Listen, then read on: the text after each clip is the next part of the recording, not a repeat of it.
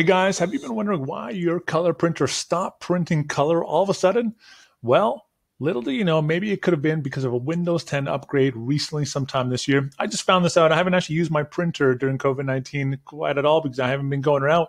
And now that I am preparing to do a presentation, I'm finding out that my printer can't print in color. And I've tried so many different trials and errors, and I couldn't figure it out until now.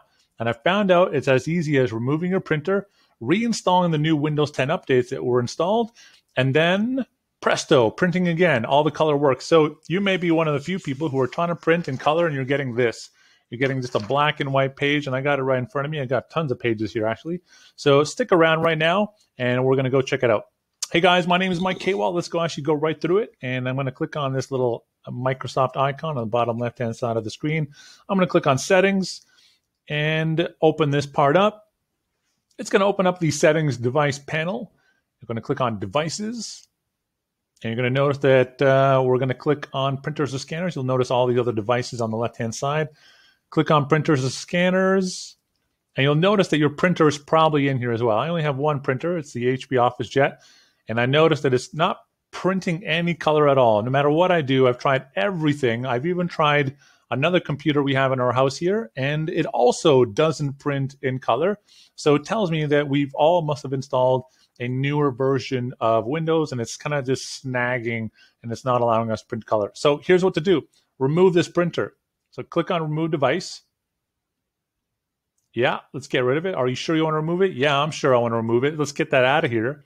So it's going to remove it from here. And I want the new Windows 10 drivers to replace the old drivers. And that's going to allow me to print in color, I hope. So let's go and find out. And uh, let's see if it finds the new printer. So here it is again. Here's my printer. It's the one that's literally right here.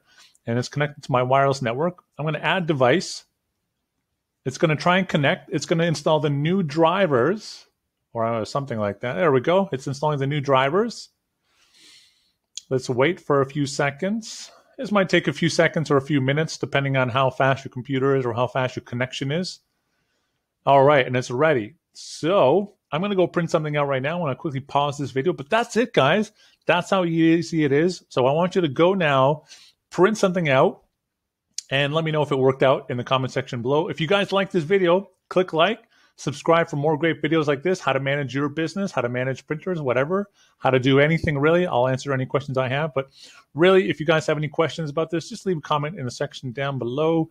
Subscribe for more great videos like this. Like this video. Thank you so much, guys, for watching. And I hope this video helps you guys out because I know it helped me out tremendously when I finally found out how easy this solution was.